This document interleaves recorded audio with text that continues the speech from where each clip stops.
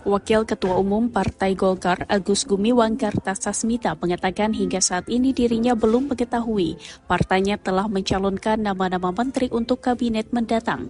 Menyusul unggulnya perolehan suara Capres-Cawapres nomor urut 2, Prabowo Subianto Gibran Raka Buming Raka.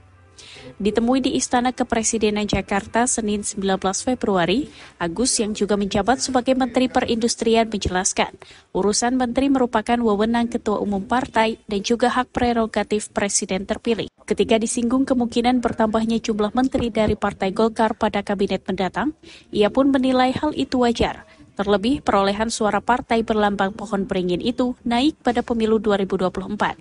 Iya logikanya sih seperti itu ya, tapi itu kan nanti tergantung dari dari presiden terpilih nanti.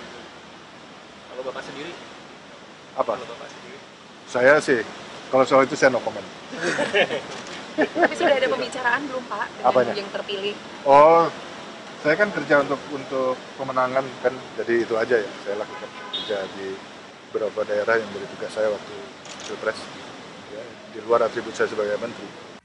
Saat ini terdapat lima nama kader Golkar dalam Kabinet Indonesia Maju Joko Widodo, yaitu Menko Perekonomian Airlangga Hartarto, Menko Marves Luhut Bin Sarpanjaitan, Menpora Dito Aryo Tejo, Menperin Agus Gumiwang Kartasasmita, dan Wakil Menteri Perdagangan Jerry Sambuaga.